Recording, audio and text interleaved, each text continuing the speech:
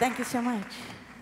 So that was a song from a film I scored called Anita about iconic gender warrior Anita Hill, on whose shoulders the Me Too movement was born, and also the last 25 years of the women's movement has been standing.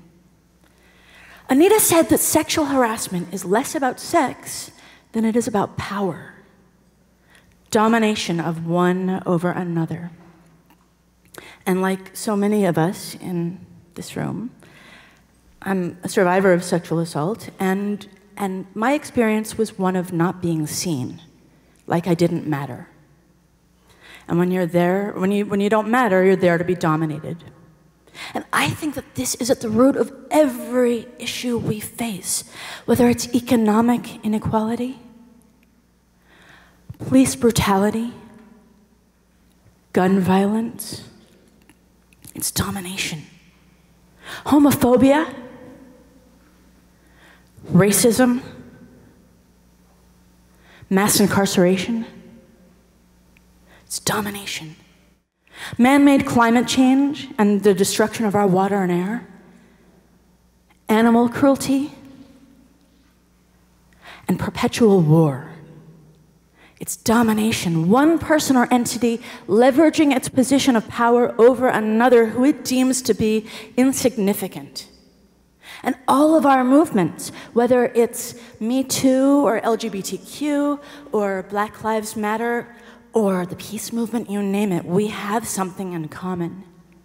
Our fight for the right to be treated with respect and dignity.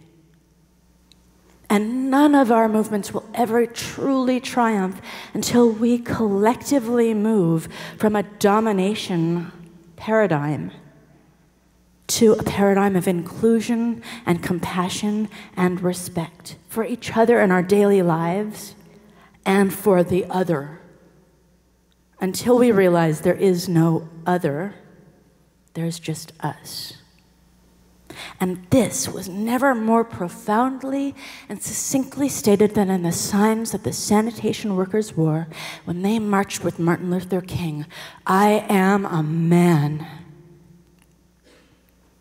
If you don't know the history of these signs, I want to give you a moment of history.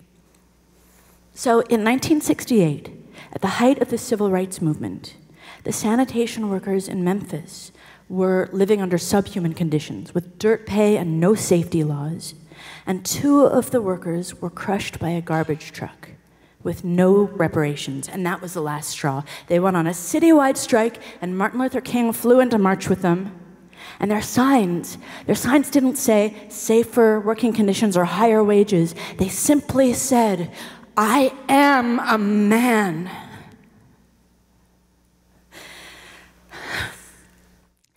And when I learned this, I was completely blown away.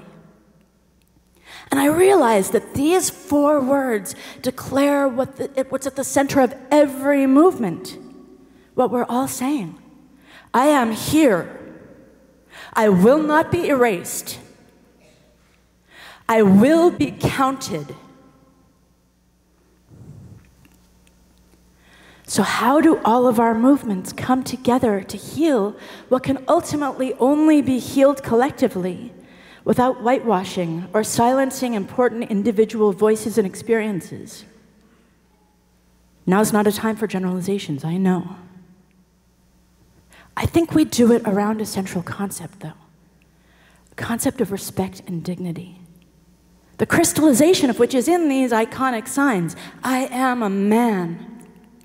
So, 50 years later, can we learn from the direct, unifying words of these freedom fighters? Not getting hung up on the word man, with all due respect to these men's specific experience, but rather, can they be a guiding light around which we come together, really seeing each other and hearing each other?